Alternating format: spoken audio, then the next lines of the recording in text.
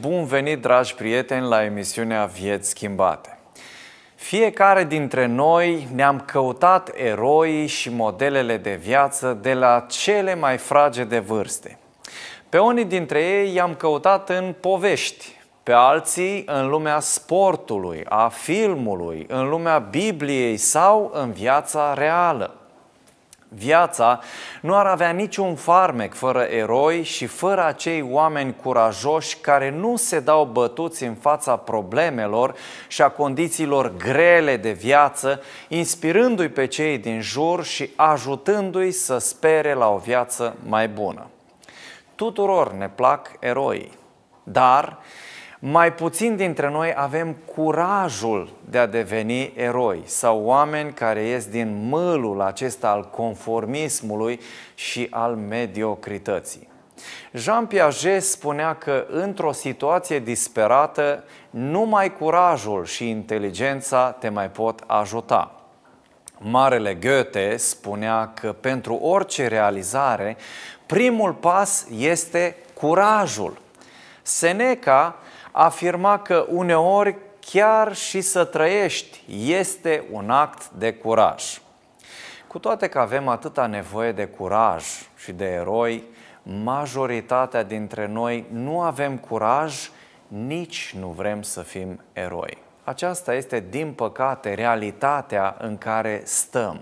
Nu vrem să ne asumăm responsabilitatea, nu vrem să ne asumăm viața, nu vrem să trăim la cote înalte, nu vrem excelența, nu vrem puterea aceea a inițiativei ne mulțumim în zona aceasta a mundanului, în zona pecuniarului, în zona intereselor mici, în zonele în care nu suntem prea provocați, în zonele în care lumea nu ne critică, în zonele în care pur și simplu stăm liniștiți într-un microclimat care nu duce mai nicăieri. Îți asigură cel mult o supraviețuire mediocră sau submediocră în Cartea lui Dumnezeu, în uh, Cartea Judecătorilor, este descrisă o perioadă de 300 de ani după cucerirea Canaanului. Dacă deschideți Sfânta Carte, Cartea Judecătorilor, descrie exact această perioadă. După ce au ieșit din Egipt, au fost cei 40 de ani în pustie, când au cârtit foarte mulți dintre ei și când au pierit majoritatea dintre ei. Și după ce au intrat în țara Canaanului, pur și simplu s-au trezit fără obiective, fără ținte înalte. Au cucerit acele popoare, câteva dintre ele, nu toate, dar în mare parte țara a rămas necucerită și dacă astăzi sunt probleme în zona aceea a Israelului, se datorează și unei polițe mai vechi pe care n-au reușit să o rezolve pentru că Dumnezeu le-a spus să intre în țară, să cucerească țara și să pună mâna pe ea. Dar raportul biblic ne spune că după ce au intrat în țara Canaanului, au cucerit câteva teritorii și au zis, da, ce rost are să mai stăm noi să ne forțăm, să încercăm să cucerim țara. Conviețuim cu cananiții. Și această perioadă este una a eroilor locali și temporari și alașilor în același timp. Pentru că în seara aceasta vreau să vorbim despre eroi și lași. Și nu este un pasaj mai amplu în Sfânta Scriptură care să descrie pe larg această situație în care găsești pe aici, pe acolo, pierdut câte un erou care mai face câte o reformă, mai ia o inițiativă, mai uh, rezolvă niște probleme, pleacă la luptă și ceilalți care zic, a, lasă că oricum viața merge înainte, n-are rost să ne batem capul prea tare cu ea, pentru că de ce să riști dacă poți să stai liniștit? Capitolul 1 din Cartea Judecătorilor, începând de la versetul 21 până la 33, ne prezintă niște refrene și iau doar capetele de versete în care se spune foarte clar din partea autorului biblic, unii spun că ar fi fost Samuel, alții că ar fi fost un alt autor, nu contează, oricum autorul de fapt este Dumnezeu. Dar uh, închei paranteza aceasta, spune versetul 21, fiii lui Beniamin n-au izgonit pe ebusiții care locuiau la Ierusalim. Casa lui Iosif s-a suit și ea împotriva Betelului și Domnul a fost cu ei. Ăștia au fost mai harnici. Cei din casa lui Iosif au iscodit Betelul, care mai înainte se chema Luz, și au uh, cucerit zona aceea. Dar Versetul 27. Manase n-a izgonit nici el pe locuitorii din Betșan. Apoi uh, Efraim n-a izgonit pe cananiții care locuiau la Gezer. Zabulon n-a izgonit nici el pe locuitorii din Chitron. Nici Așer n-a izgonit pe locuitorii din Aco. Neftali n-a izgonit pe locuitorii din Bet Shemesh și așa mai departe. Au zis, noi conviețuim cu cananiții, nu mai avem nevoie să luptăm, să fim combatanți, să avem un cel și foarte mulți oameni duc viața în felul acesta. Este mai comod să stai liniștit, să nu te implici, să nu ai inițiativă, să nu te lupți cu probleme mari, să nu ai idealuri mari, să nu provoci pe Dumnezeu, să nu vrei ca Dumnezeu să facă lucruri mărețe în viața ta, este mai bine și mai confortabil să nu faci nimic. Și de aceea lumea se împarte în două categorii mari și foarte inegale, eroii și lașii. Sau hai să îi îndulcim puțin, oamenii comozi, care nu vor prea multe de la viață. Observați că majoritatea triburilor lui Israel n-au făcut absolut nimic. Nu au vrut să se implice, nu au vrut să schimbe nimic. Ca o concluzie, îngerul Domnului îi mustră pentru această atitudine și pentru această neimplicare a lor. Și spune în capitolul 2 cu versetul 1 și până la 4 așa.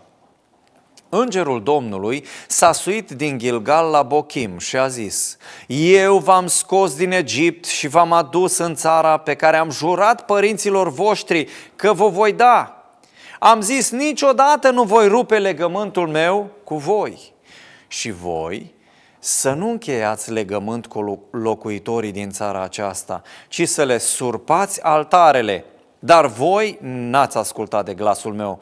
Pentru ce ați făcut lucrul acesta? Adică pentru ce n-ați făcut nimic? Am zis atunci, nu-i voi izgoni dinaintea voastră, ci vă vor sta în coaste și Dumnezeii lor vă vor fi o cursă.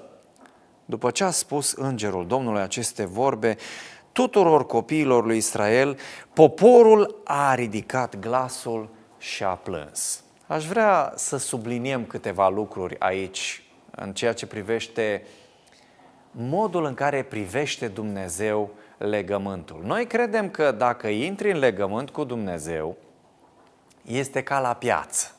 Adică Dumnezeu mai dă și El, mai iau și eu, mai pune El, mai pun și eu și ne târguim și o scoatem cumva la capăt. Ei bine, legământul cu Dumnezeu se face în termen de viață și de moarte și uneori sunt anumite consecințe neplăcute pe care Dumnezeu le trimite omului, tocmai pentru a-l descuraja să facă răul sau să nu facă binele, să stea într-o stare din asta de comoditate în care nu-i pasă de nimic, în care nu vrea să fie combatant, în care vrea să stea și el frumos, să aibă acel confort existențial. Ori Dumnezeu, dacă vă uitați la mari oameni ai săi, întotdeauna i-a provocat. L-a luat pe Moise, a ieșit din Egipt, s-a dus 40 de ani, a stat și el cu turma socrului său Ietro în pustie și după 40 de ani zice Domnul, auzi, Moise, nu te-ai săturat în fiecare zi aceeași plăcuță, același orar, același program. Hai că te provoc! Și după aia, în fiecare zi, pentru Moise a fost o provocare. Îl ia Dumnezeu pe Ilie și spune, du-te în fața lui Ahab, spune-i că trei ani și jumătate nu o să plouă după cuvântul pe care ți-l dau, Așa s-a întâmplat și a spus, du-te la Cherit și stai acolo. Corbii îți vor aduce pâine și apă în fiecare dimineață, în fiecare seară. Ok, s-a obișnuit uh, Ilie și cu regimul acesta, dar după aceea uh, parcă, parcă a intrat în rutină și a spus Dumnezeu indirect, Auzi, Ilie, nu te-ai cam plictisit cu programul ăsta? Ia du-te tu în Sarepta Sidonului, fără GPS, într-un oraș de aproximativ 300 de mii de locuitori, la o văduvă săracă, o vei găsi, nu știu cum, dar o vei găsi, și acolo te voi hrăni până când voi da din nou ploaie în țară. Wow! Și după aia a zis, ă, auzi ă, Ilie, te-ai cam obișnuit. Dimineața turte, ă, ulciorul cu apă, te-ai obișnuit și cu minunea asta. Moare fiul femeii și trebuie să se roage ca Dumnezeu să învie fiul. Apoi, Ilie, bun, ajunge cât ai stat în Sarepta, du-te acum pe Carmel. S-a dus pe Carmel, a înfruntat pe prorocii lui Bal și vine o altă provocare, amenințarea Izabelei și după aceea fuge, își caută să scape viața din răsputeri, încearcă să supraviețuiască și în cele din urmă când cade prăbușit, prăbușit îi spune Dumnezeu, auzi, hai că am în sfârșit un loc de odihnă pentru tine, după ce ți-ai terminat toată misiunea pe acest pământ. Așa este Dumnezeu, ne provoacă tot timpul, vrea ca să mergem din provocare în provocare, ca să vedem puterea Lui, să avem credință. Poporul a zis, nu, eu nu, noi nu facem nimic. Și Dumnezeu s-a supărat foarte tare, atât de tare, încât le-a pus în față niște consecințe dureroase. Nu i-ați cucerit, n-ați terminat cu ei, nicio problemă. De acum și ei și Dumnezeii lor vă vor fi un, un ghimpe și vor fi o piedică pentru voi. Pentru că nu ați vrut să cuceriți țara. Și este clar că au început cei din popor să bocească. Oh, Doamne, ne pare rău, Doamne, știi că, da, noi nu, nu, n-am vrut, hai te rog, hai revino. Și Dumnezeu a zis, nu, ce am hotărât, am hotărât. Unii așa cred că se pot tocmi cu Dumnezeu. Doamne, hai că n-am ascultat nici de data asta, nici de 10 ori în urmă, nu contează. Hai că o facem noi cumva să o dregem și încercăm să îndulcim consecințele și Dumnezeu zice nu. Pentru că nu ai ascultat atunci, suporți consecințele și Dumnezeu nu se mai întoarce de aici. După ce a spus îngerul Domnului aceste vorbe tuturor copiilor lui Israel, poporul a ridicat glasul și a plâns. A plâns de ce? De frica acelor consecințe care urmau după hotărârea clară a lui Dumnezeu. Așa suntem și noi. De foarte multe ori venim înaintea lui Dumnezeu și încercăm și încercăm să dregem lucrurile. Doamne, dar uite că n-am făcut asta și cealaltă, dar noi suntem șmecheri. Nu venim cu acea pocăință prin care vrem să ne schimbăm viața. Noi vrem ca Dumnezeu să schimbe rezultatul și consecințele alegerilor noastre. Dar după aia mergem tot acolo în mod intenționat. Ori Dumnezeu nu poate fi păcălit sau uh, înșelat cu tertipuri din acestea ieftine. Putem vedea în uh, cartea aceasta a judecătorilor aceste două fire narrative sau aceste două planuri. Planul eroilor lui Dumnezeu și planul lașilor și al comozilor. S-au ridicat pe rând în Israel tot mai mulți judecători. Unul dintre ei a fost Odniel.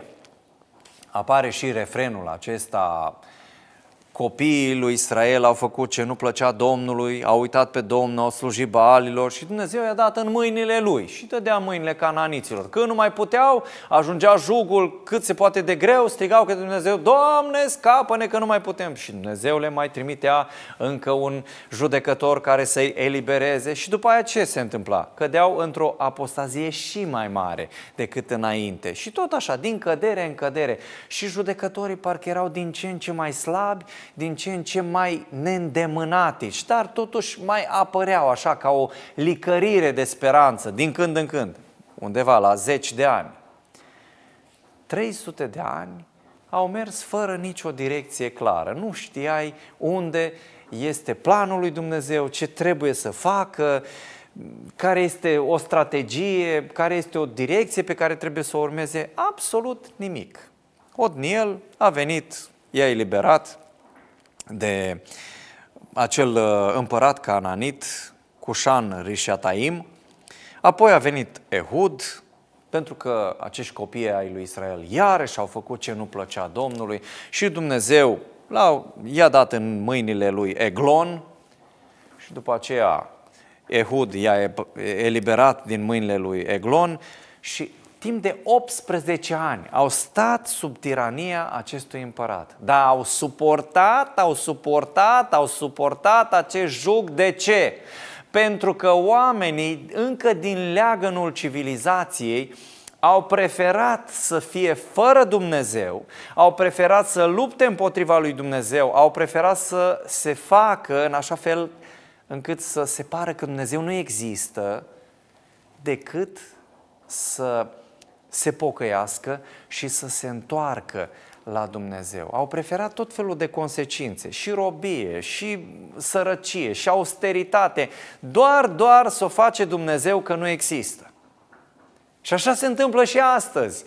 Preferăm orice fel de consecințe, renunțăm la orice fel de drepturi, numai să avem noi confortul în eul nostru că Dumnezeu nu este stăpân în viața noastră și că noi facem doar ce ne place și doar ceea ce vrem.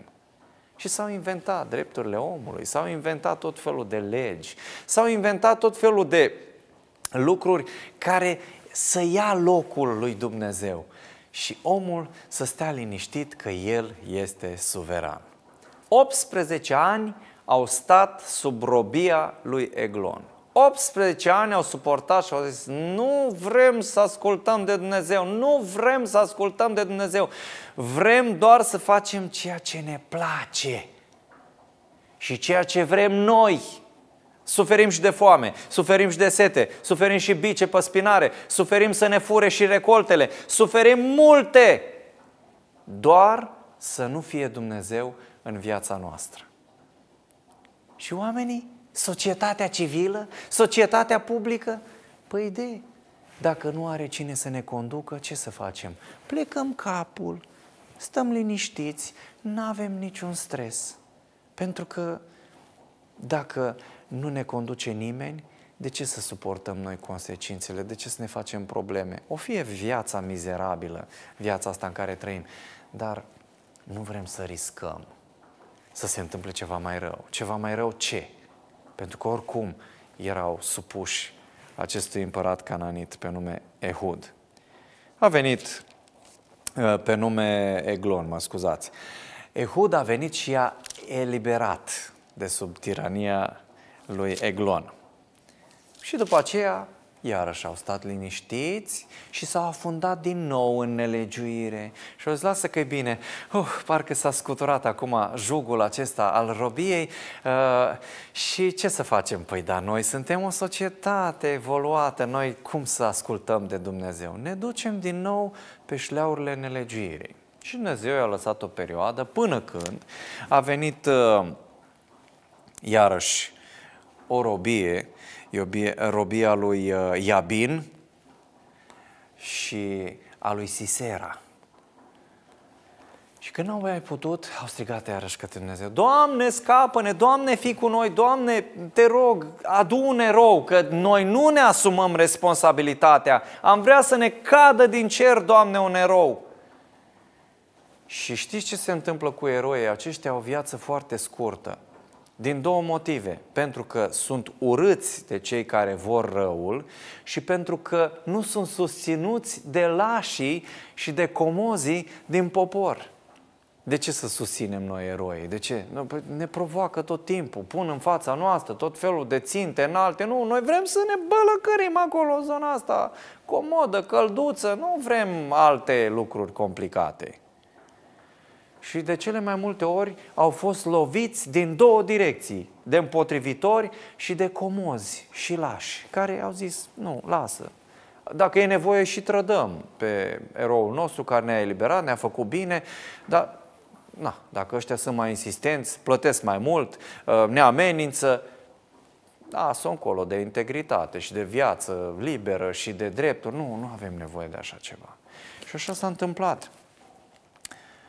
Au venit Debora și Barac, într-un context în care iarăși copiii lui Israel au făcut ce nu place Domnului după moartea lui Ehud și Domnul i-a vândut în mâinile lui Abin, împăratul Canaanului, care domnea la Hațor și căpetenia oștirii lui era Sisera și locuia în Haroșet Goim.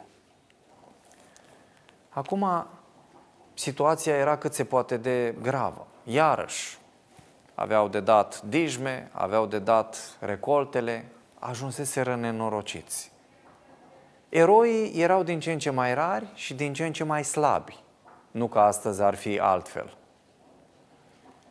300 de ani în care lucrurile au mers cât se poate de oscilatoriu și cât se poate de nedefinit și de dezorientat în popor. Copiii lui Israel au strigat către Domnul căci Iabin avea 900 de care de fier și de 20 de ani a păsat cu putere pe copiii lui Israel. Observați că cap, această capacitate de rezistență la nedreptate și la consecințele păcatului este din ce în ce mai mare. Până atunci au rezistat 18 ani. După aia au rezistat 20, mai ducem, doară, doară, nu, nu ne vede Dumnezeu și stăm și noi și îndurăm și strângem din dinți 18, 20, 30, 40 de ani, din ce în ce mai mult să fim fără Dumnezeu. Și când nu mai putea, când pleznesc curelele, atunci strigăm și noi către Dumnezeu. Doamne, scapă-ne că pierim și nu avem ce face. Și Dumnezeu l-a trimis pe Barac, care era atât de curajos încât s-a dus la Debora și a spus, auzi, când mai aud pe ăștia triumfaliști că vai, femeile să nu slujească în biserică, femeile să nu fie implicate, să nu facă nu știu ce, numai bărbați peste tot. Eu nu zic că nu și are fiecare locul lui. Însă unde erau bărbații în vremea aceea? Ce făceau? Se ascundeau după corturi? După fustele nevestelor? Ce făceau bărbații atunci? Chiar și Barac vine și spune Deborei, care stătea lângă finicul Deborei, chiar așa îi spunea acelui finic, dacă, versetul 8, dacă vii tu cu mine, mă voi duce. Dar dacă nu vii cu mine, nu mă voi duce. Ăsta da bărbat. Ăsta da viteaz, domnule. Te poți baza pe el, de fapt și acum cu noile ideologii, nu știu pe cine te mai poți baza ca să te apere, că toți sunt, uh, știți ce vreau să spun. Și au probleme cu saloane de înfrumusețare, cu unghii, cu păr, cu din astea. Deci dacă ar fi să ne apere, ferească Dumnezeu. Da, în fine, e altă discuție. Și Barac s-a ascuns după Debora. Dacă nu vii tu cu mine, eu nu mă duc, să știi, mie mi-e frică. Și i-a spus Debora, ok, mă duc, dar să știi că victoria și laurii vor fi tot ai unei femei. E vorba de Iael, care l-a ucis pe Sisera. Bine, bine, fie și asta, dar până la urmă să știi că eu singur nu mă duc. Perioadă de criză în care eroii lipsesc și în care lașii sunt peste tot unde te uiți cu ochii. Nici o inițiativă. Și dacă sunt câteva, și alea timide și cât se poate de anemice. Au pornit la război, bineînțeles, așa cum am spus înainte, Iael l-a omorât pe Sisera, marele general, și din nou Israel a putut să respire ușurat câțiva ani. Gata, am scăpat, am scăpat de uh, tirania lui Sisera și de tirania lui Iabin, așa că ce putem face? Ne întoarcem din nou la viața de nelegiuire. Și au stat, au stat, au îndurat. Spune capitolul 6, versetul 1, același lucru. Copiii lui Israel au făcut ce nu plăcea Domnului și Domnul i-a dat în mâinile lui Madian timp de șapte ani, o perioadă mai scurtă, dar barbaria și jugul lui Madian au fost foarte, foarte puternici asupra izraeliților. Le furau toate recoltele. Când trebuia să adune, uh, eu știu, via, să adune grânele, veneau ca niște lăcuste, prădau tot și îi lăsau flămânzi. Și n-au mai putut. Și vine îngerul Domnului și îi se arată lui Gedeon, viteazul lui Gedeon, care se ascundea în teasc și spune, Domnul este cu tine, viteazule. Și foarte indignat, așa, se ceartă cu Dumnezeu și începe să-i spună frustrările lui și nemulțumirile lui. Unde a fost Dumnezeu când Ne tot povestesc bătrânii că v-a scos din Egipt, că a trecut marea, că a trecut Iordanul, că a făcut o mulțime de minuni. Unde sunt minunile astăzi? Pentru că noi nu le vedem. Noi nu vedem eroi, noi nu vedem nimic. Dar știți care este secretul lui Dumnezeu? Că El crede că tu poți să fii un erou. Nu te mai uita în stânga, nu te mai uita în dreapta, nu te mai uita în sus, nu te mai uita în jos, că nu o să cadă din cer. Dumnezeu spune, fii tu erou. Cum, Doamne, că n-am bani, n-am finanțe, nu-s din familie bună, n-am pile, n-am relații. Cu ce, Doamne, să izbăvesc pe Israel? Cu credință în Dumnezeu, cu atitudine și cu implicare, spune Dumnezeu. Restul este problema mea. Ceea ce am nevoie de la tine este să fii gata de luptă. Dacă oamenii ar conștientiza cât de ușor s-ar putea transforma în eroi și cât de ușor ar putea accesa puterea lui Dumnezeu și resursele lui, am trăit într-o cu totul și cu totul altă lume. Însă majoritatea așteaptă de la alții. Să vină guvernul, să vină instituțiile statului, să vină nu știu cine, să vină altcineva, asociații, ONG-uri, să vină companiile, să vină altcineva, biserica, dar nu eu, eu, eu stau și critic și, apropo, media și social media ne-au dat puterea aceasta a cârcotașului, care este întotdeauna nemulțumit de toate, dar tu care critici, nu ești dispus niciodată să te implici în nimic. A, ei da, să facă, să se implice, să facă, să dreagă, dar eu nu, eu doar stau și observ, pasiv, liniștit, dar nu, nu, nu, pe mine nu vă bazați. De spirit civic, ce să mai vorbim, nu există așa ceva. Și observați unde duc toate aceste neimplicări și toate aceste atitudini lașe. Domnul este cu tine, viteazule. Hai, Doamne, nu mă lua pe mine așa și supăra, se ceartă cu Dumnezeu. Și Dumnezeu îl ia din aproape în aproape și arată, uite, fă asta, fă asta, fă asta, uite, am nevoie de minuni, am nevoie de confirmări. Stai liniștit că îți dau eu și minuni și confirmări. Am eu grijă de asta, pentru că eu am creat totul. Nu este o problemă pentru mine să fac minuni. Problema este să găsesc oameni cu care pot discuta la un alt nivel decât ceilalți, care nu văd decât cum să se ascundă de dușmanii lor. Asta este problema mea, zice Dumnezeu. Nu găsesc oameni, caut oameni. Și Versetul 21 spune că îngerul Domnului a întins vârful toiagului pe care îl avea în mână, a atins carnea și azimile pentru că Gedeon i-a adusese un dar de mâncare și atunci s-a ridicat din stâncă un foc care a mistuit carnea și azimile și îngerul Domnului s-a făcut nevăzut dinaintea lui. Și brusc Gedeon se trezește din amețeala asta a dezorientării, a necredinței, a indignării chiar și a revoltei împotriva lui Dumnezeu și zice, hopa, stai, stai, stai un pic, era cumva Dumnezeu aici? Păi bună dimineața, Dumnezeu este tot timpul aici. Uh, a zis ceva că pot eu să fac ceva pentru popor? Păi da, sigur, pot să faci. Vai de mine, chiar a fost Dumnezeu. O să mor. Și Dumnezeu îi spune în uh, Versetul 23, Domnul i-a zis, fii pe pace, nu te teme că nu vei muri. Nu de asta am venit ca să te omor sau ca să te sperii, deși uneori Dumnezeu ne mai sperie ca să știm de frică. Dar nu de asta am venit acum, am venit ca să te pun pe linia cea bună, să-ți arăt că poți să pășești în față, să iei o inițiativă, să schimbi ceea ce este în jurul tău. Și da, da, ă, Doamne, da, într-adevăr, lucrurile stau foarte bine. Încep cu casa vecinului. Așa facem noi reforme și redeșteptări. Și Dumnezeu zice, nu, nu, nu, nu, nu, stai, nu te grăbi. Și noi ă, știm să găsim pasaje biblice și citate. Da, uite că Dumnezeu, Moise, nu știu cine, eroul lui Dumnezeu, a început cu... Hai să citim corect. În momentul în care Dumnezeu îi spune lui Moise să facă reformă, Moise le spune, începeți cu ea din casa voastră. Pentru că este foarte ușor să iei să bagi sabia în celălalt, care nu e al tău, nu te doare. Da, și începem reformele, comitete, adunări administrative și bisericești cu alții. Și Dumnezeu zice, nu, nu, nu, nu, nu, nu, nu, dacă vrei să fii erou și să fii reformator și să schimbi ceva, începe din căsuța ta.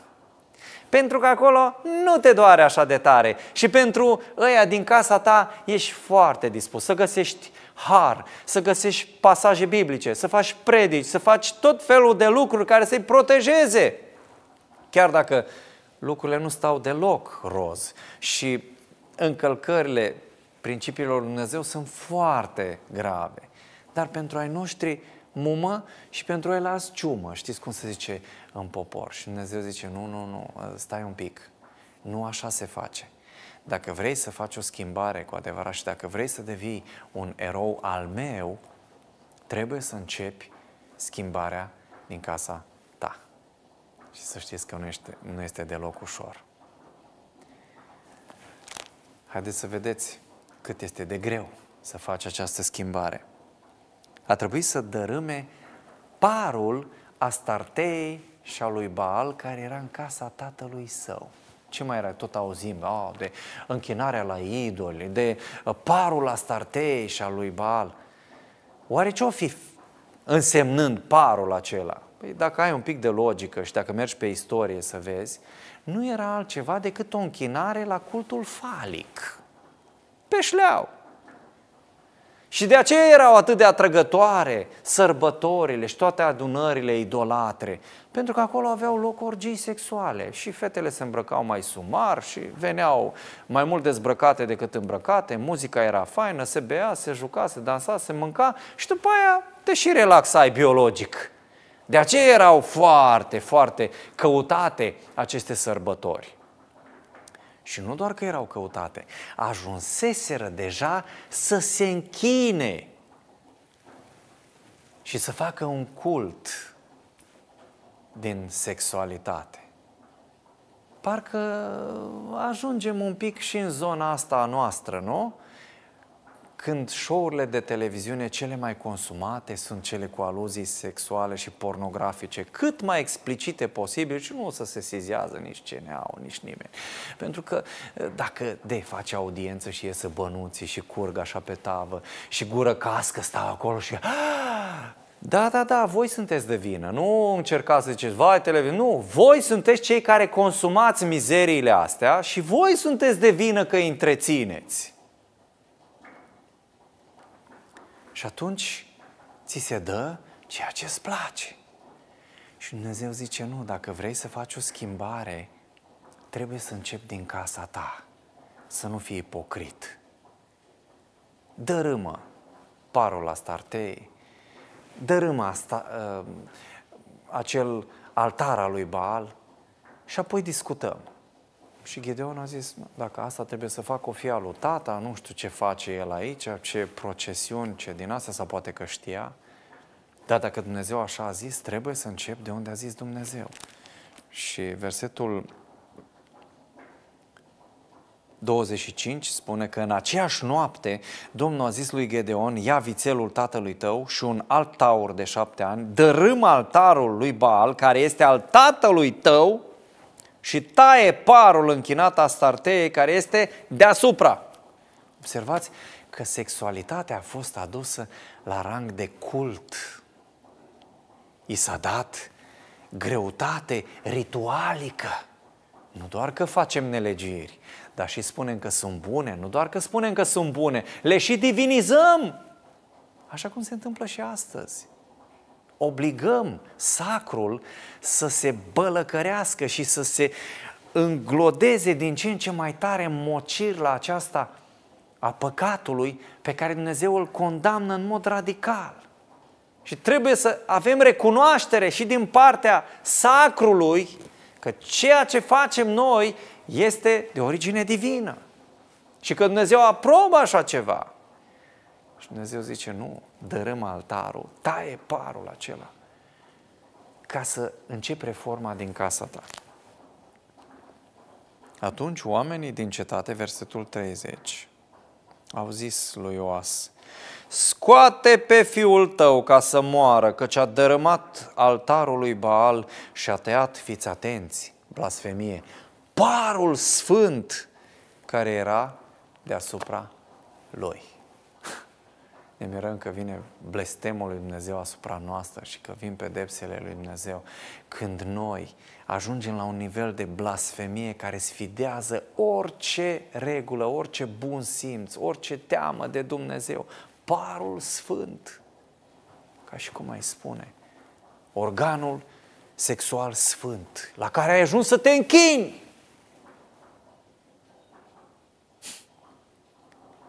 Cât de jos cât de jos putem să coborâm și cât de îndobitociți putem să ajungem crezând că Dumnezeu trebuie să îndure și asta și cealaltă.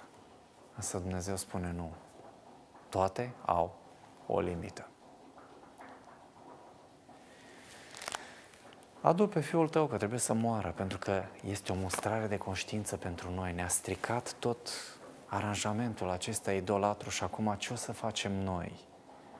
Și a avut un moment de inspirație tatălui, Ioas, care a răspuns celor care s-au înfățișat înaintea lui.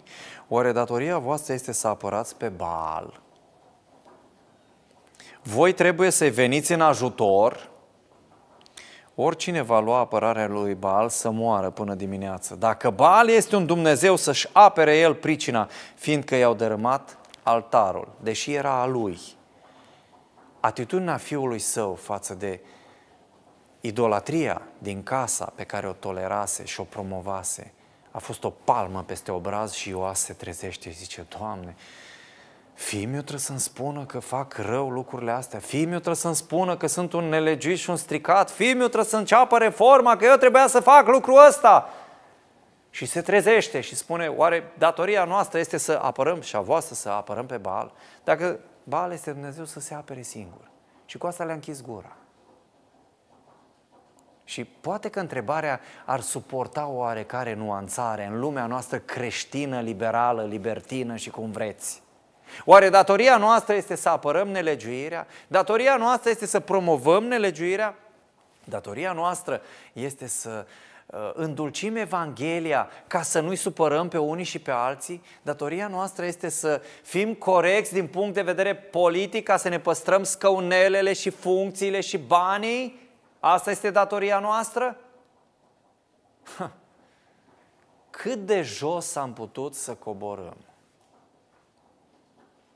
De dragul de a păstra status quo-ul, să fie liniște, să fie pace. Știți, acea pace a compromisului, acea pace care te duce la ruină și care nu-ți oferă nici o perspectivă. Sau acele războaie inutile.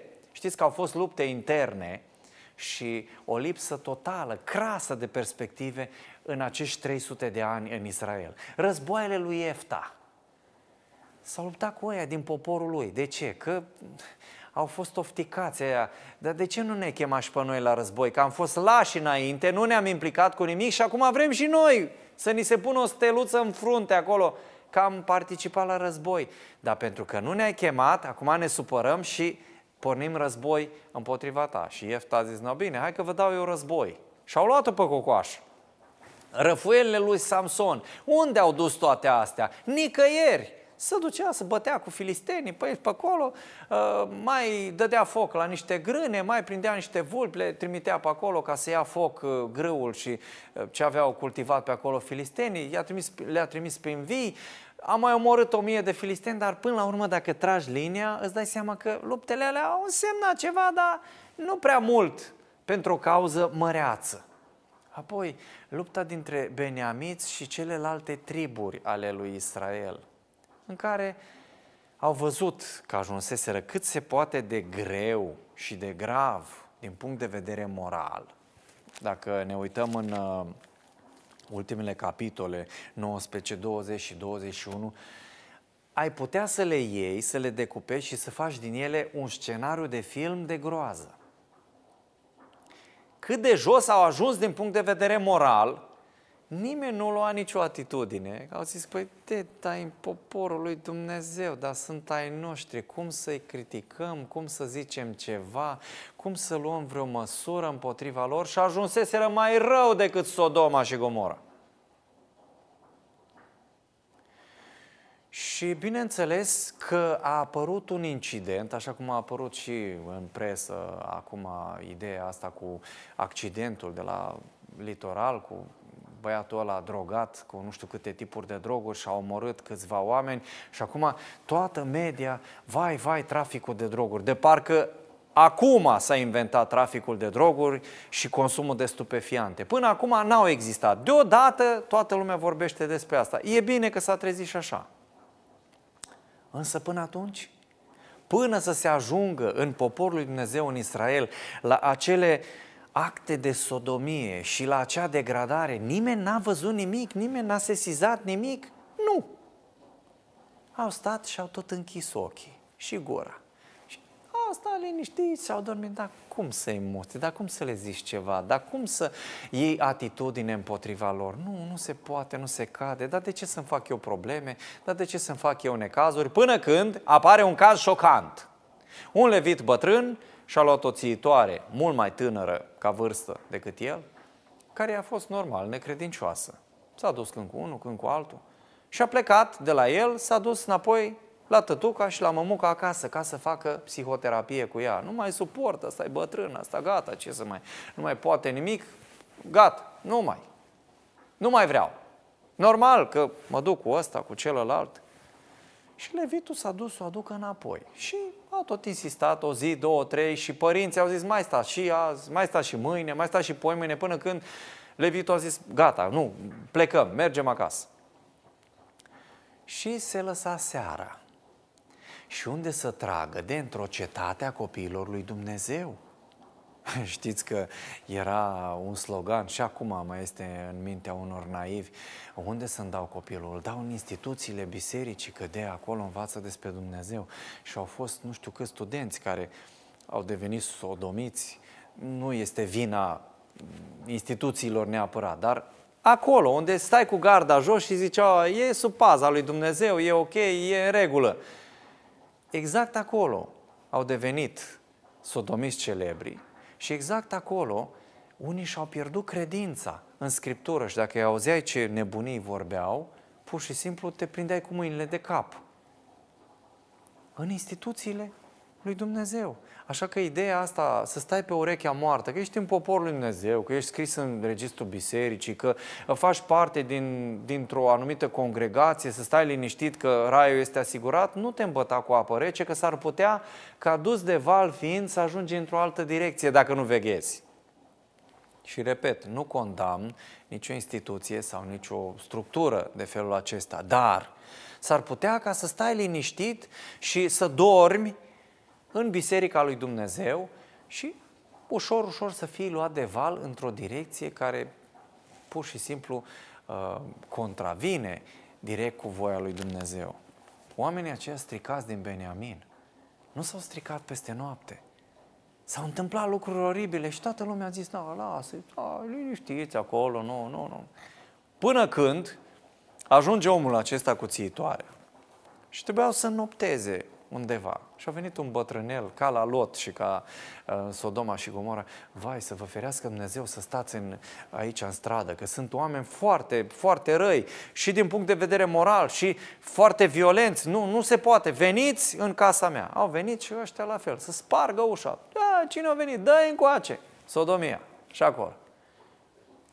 Și levitul, ca un gentleman ce era, le-a dat-o unor stricați pe țiitoarea lui să fie fortuită și batjocorită. Și atâta au batjocorit-o și au fortuit-o până când a căzut moartă pe prag. Vă spun că scenariile astea pot face parte liniștit dintr-un, dintr-un film de groază. Și ce a făcut? A ciopărțit-o în bucăți și a trimis câte una în Israel. Și brusc, mare trezire. Și metode radicale. Ce facem? Cine este vinovat? Primul lucru, la oamenii care nu au profunzime atunci când vine vorba de pocăință, se uită în stânga și în dreapta. Cine este vinovat? Pe cine putem trage noi la răspundere? A, ăștia sunt, ei sunt de vină.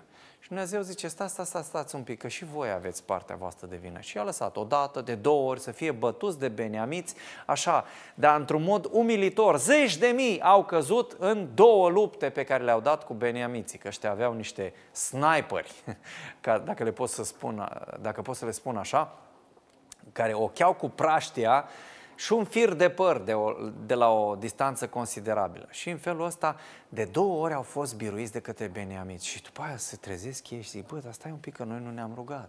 Stai un pic că, de fapt, noi n-am cerut părerea lui Dumnezeu.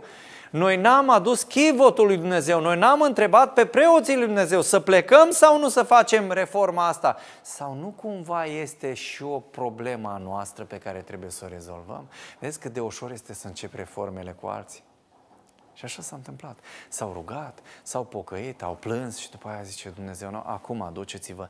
După ce v-ați întors voi, după ce v-ați pocăit, după aia faceți reforma și cu ceilalți. Eroii trebuie să vină pe platforma aceasta a integrității.